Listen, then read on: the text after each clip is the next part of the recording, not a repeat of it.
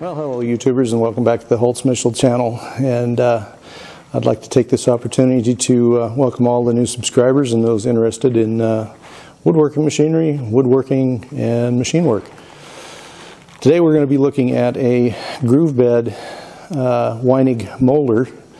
Um, I started restoring this machine here a few weeks back. Um, most of it was just pretty much straightforward. It's themes you've already seen before um, just basic grinding, basic uh, motor rebuilding, uh, stuff like that. But uh, in this video, you're going to get to see uh, the the uh, bed in here get ground, uh, the finished bed after the the stock leaves the grooved bed and goes on to a finished bed, and that had to be restored. There were some other issues with the machine that had to be dealt with. Um, again, just basic machine stuff, nothing you know really getting worth getting excited over but uh, anyway th this machine is interesting in the fact that it's a grooved bed so I'll give you a tour of it here just in a short bit and uh, show you some of the other things. Of course uh, you've seen uh, the monkey spinning metal video um, that was part of this project as well so anyway um, on to the tour so here we got the feed magazine, the blanks for the parquet wood.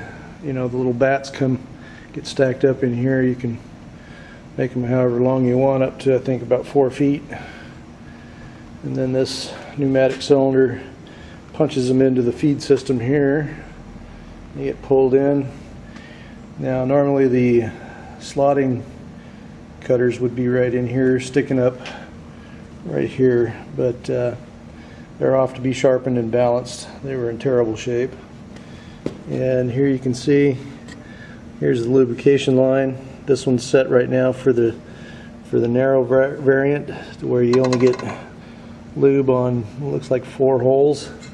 And then uh, there's a different, you just swap these around, and then you get it for the full width.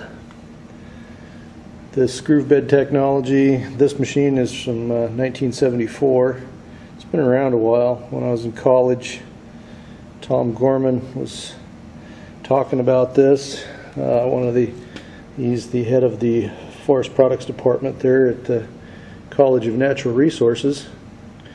And I know the subject came up, so Tom, if you're watching this, um, groove bed technology has been around quite a while. I don't know if that was the the core of the topic, how long it's been around, but uh, anyway, as you can see from this uh, machine, 1974. So here we got all the way through, fully restored and ready to rock and roll.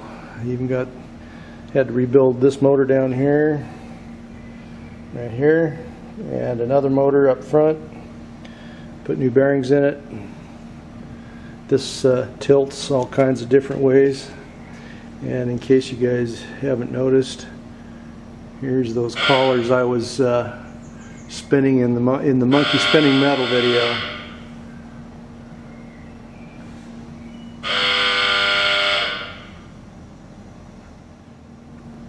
Also rebuilt this uh, hold down shoe here.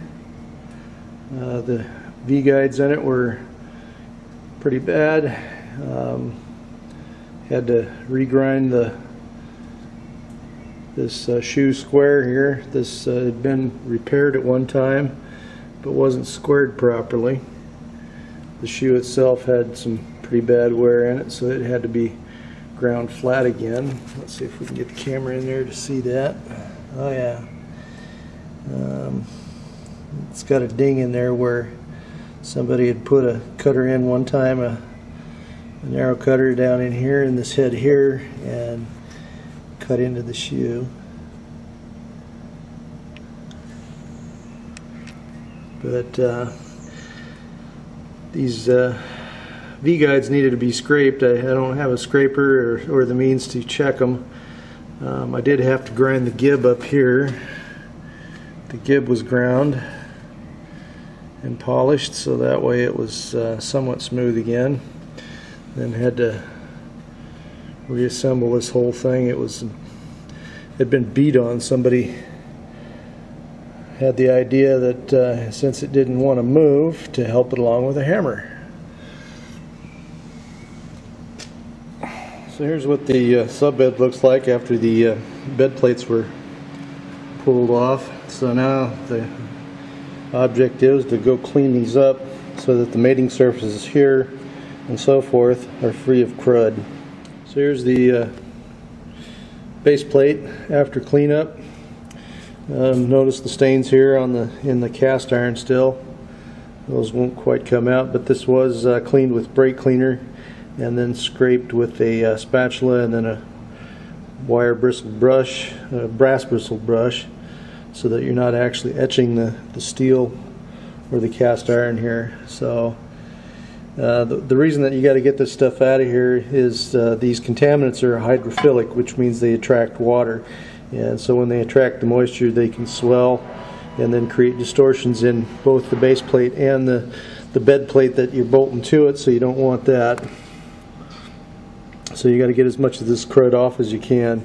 Now the staining, there's nothing that you can do about that. Like I said, I did take a, a spatula to it and scrape it so that there isn't anything but the crud uh, coming off. So now we're ready for our our bed plates.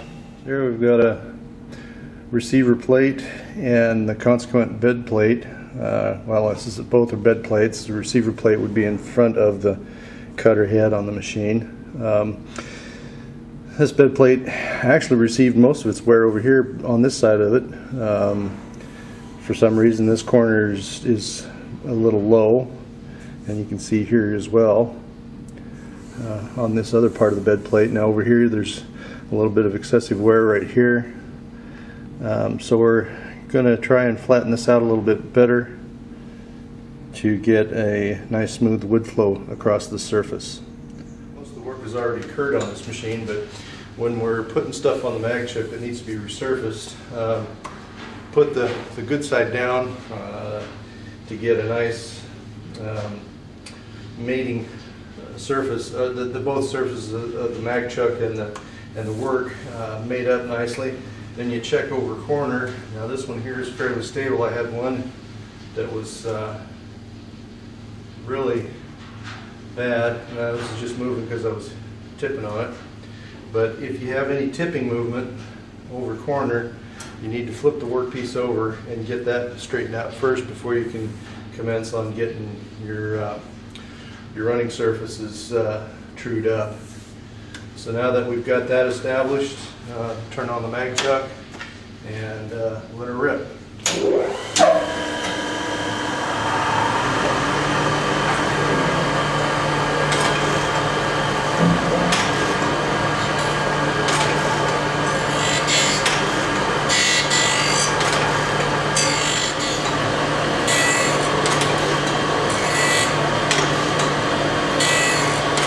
This grinder has a uh, damaged arbor bearing and you can see the scalloped finish we're getting right here.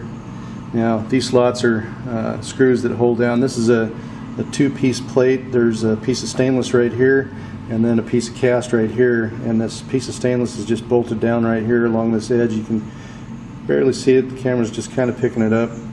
But we got two different kinds of steel and so it's getting a little bit warm and uh, there's the danger of warpage so we're going to let it cool off here a little bit. And then uh, in order to get a nice finish cut on here you can see there's still a little bit of skip right here but what the camera isn't picking up is that uh, the rust that is right here was up high enough to where the wheel was actually taking it off. And here you can see that scallop finish even better. And so we're gonna like I say dress the wheel again and um, get a, a, truer cut on this. That'll it'll give us a, a, fairly decent finish when we're done. Now, the other thing I'd like to point out is if you have dissimilar metals metals on one workpiece, um, try and take it the shortest way possible. So, if I were to uh, grind it this way, um, granted the wheel would still be in the you know in one in one metal or another, but you know of course then the uh, the uh, contact region here the wheel will be overlapping on both sides, and then you get uh, uh, kind of a um, I don't know what, what kind of an effect you would call it, But uh, anyway, you- the wheel has a tendency to, to plug up a little more. This way, as it's going across the short way, the transition is, is uh, very abrupt, and so you don't get the wheel clogging up uh, as it's going back and forth. You know, um, the face of the wheel that's actually in contact with the with the work. So, and then you, you don't heat up as much either. Um, this is just barely warm right here, so we're going to go ahead and dress the wheel and then continue on. Now here's a beautiful example of how uh, two different metals expand at different rates when they get warm when they're being worked. Now here you can see the cast. It was raised up a little higher or it didn't expand as much as the piece of stainless did. Stainless does have a tendency to expand a little more than cast iron does. Now as this cast iron was getting worked it got hot so now that it's cool it shrank a little bit and so you can see right here's the uh, upper edge of the cut on the wheel from the, from the wheel on the cast iron and here it is on the stainless. Now it's all coming out to be on the same plane as it's going along because I'm taking a really light cut.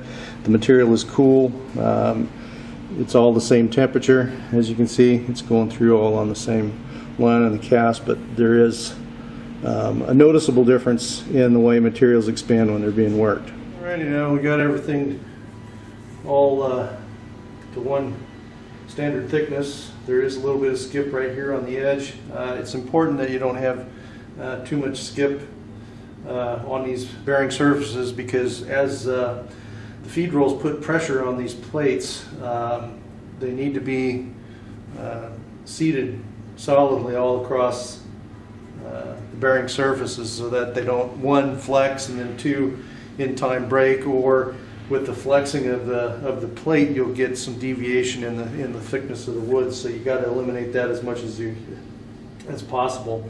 So that's the reason we're going through and getting this all uh, one uniform thickness without with very little skip on on any of the corners now like I said I've got a little bit right here on this guy here about oh, a quarter of an inch but that is beneath the guide the side guide so there's no, there's not gonna be any pressure right here on this corner. Same thing here.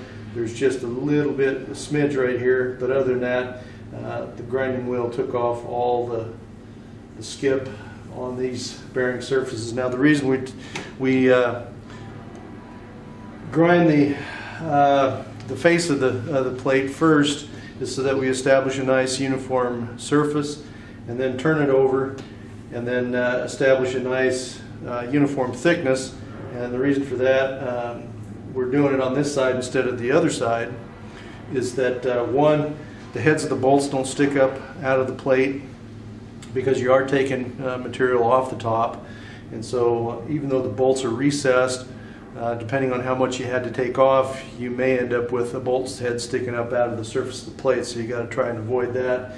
And the other thing is um, the heat that uh, is generated in the grinding process um, by taking we're taking off very little material here. On the other side, we're taking off a whole lot of material uh, in, terms of volume uh, in the overall surface. So that heats up, and then of course the warpage factor enters into the picture there. We saw that with the uh, um, with the with the pickup edge here, uh, where the uh, stainless had shrunk considerably more than the uh, cast iron did. So.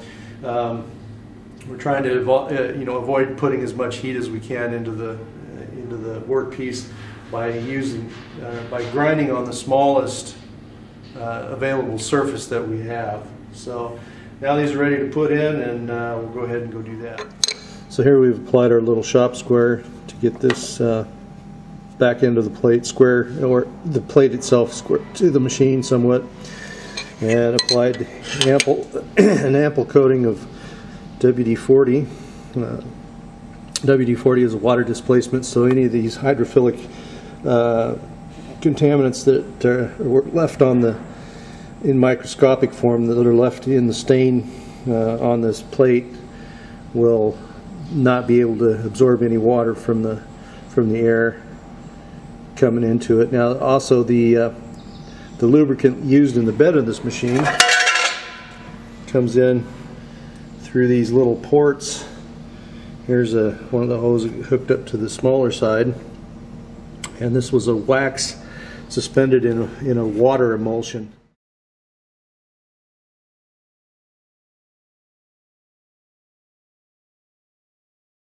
And so there is quite a bit of moisture that uh, will get in between these plates over here, and so you got to minimize that contamination if you at all can.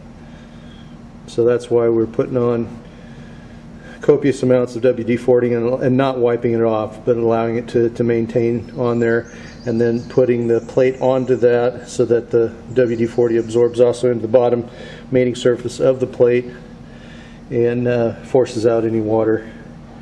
It also allows the uh, the plate to be located a little easier as it's being placed on the on the machine and creates a somewhat airtight seal between the, the two plates and then that way nothing, no air can get in there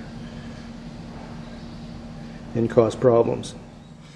So here's our first plate all mounted in and you got to watch to get the distance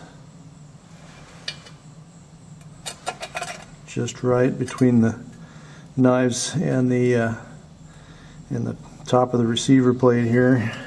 It should be about the same on this side. We've got about three millimeters on both sides. It's hard. So here's our plates all installed finally. These square head bolts. I put a lot of Gronk on there. Uh, this is adjusted of course to this head.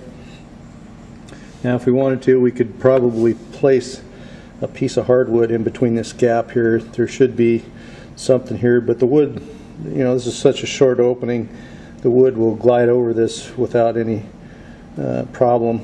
Yeah, you can still see the skip right here on this uh, on this one piece, but there's no.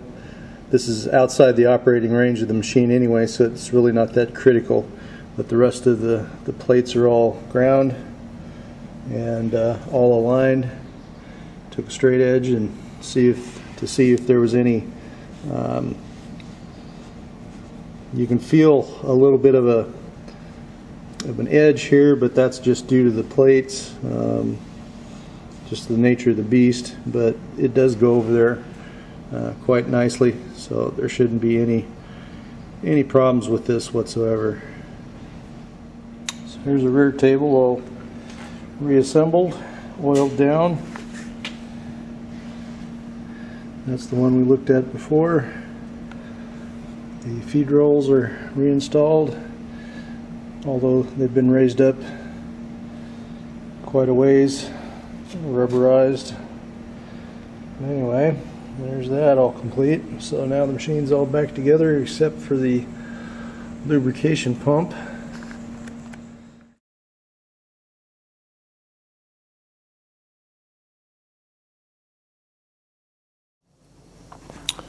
Well, YouTubers, that's a wrap for today. I hope you enjoyed this little tour of the Weinig molder. And uh, if you've got any thoughts or questions, by all means, put them in the comment section below. And we'll see you again soon.